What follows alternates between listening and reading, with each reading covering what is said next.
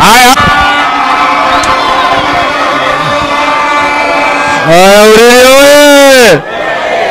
Nikisema ODM unasema tuko tayari. ODM, ODM, ODM.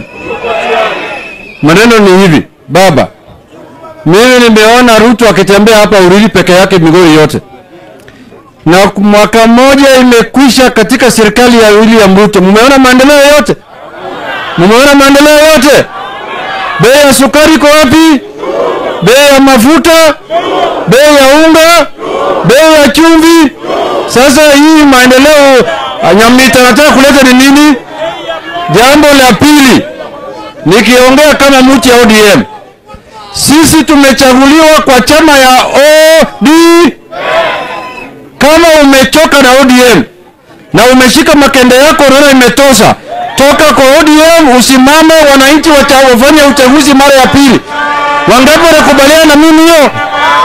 Wangapi wanasema ya kwamba kama mbunge MCA ana, viongozi wote ambayo wamechaguliwa na chama ya ODM kama unaona ya kwamba unataka kuingia kwa chama nyingine, urudi kwa wananchi.